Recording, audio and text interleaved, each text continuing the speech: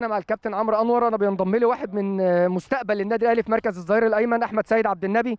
أحمد بالمناسبة كابتن أسامة كان عائد من إصابة وأول مباراة يلعبها ويشارك فيها وتشارك النهارده كبديل. أحمد برحب بيك على شاشة قناة النادي الأهلي.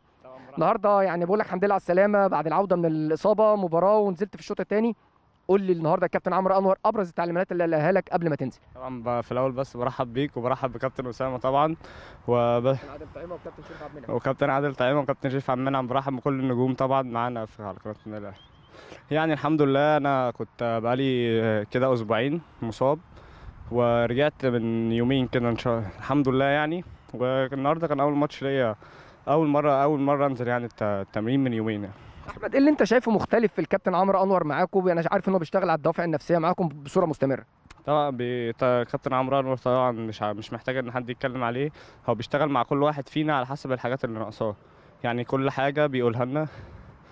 كل كل حاجة بي- بيتكلم معانا فيها. اللي أنا ناقصني بيكلمني فيه. بيكلم كل واحد على انفراد. ودي طبعا احسن أحسن حاجة في كابتن عمرو أنور.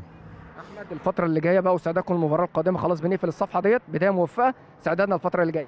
طبعا النادي الأهلي هو إحنا بناخد الماتش بماتش وما يهمناش مين اللي هنلاعب مين ولا مين اللي جاي. إحنا بنبص بس للدوري وبنبص للماتشات اللي جاية. اشكرك يا أحمد وبالتوفيق إن شاء الله في المباراة القادمة. حبيبي فاروق.